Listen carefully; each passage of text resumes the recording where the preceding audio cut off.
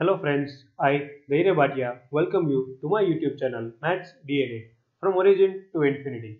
In this video, we are going to discuss a question of linear algebra from the examination of SLET. The question is, let T be a linear transformation on R3 given by T of x, y, z equals to 2x, 4x minus y and 2x plus 3y minus z. Then the options are A.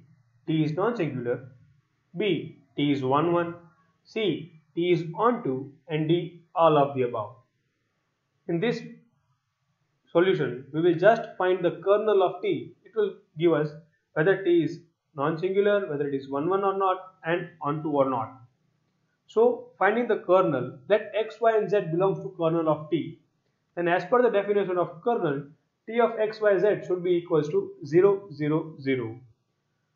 From the transformation given to us, 2x equals to 0, 4x minus y equals to 0 and 2x plus 3y minus z equals to 0.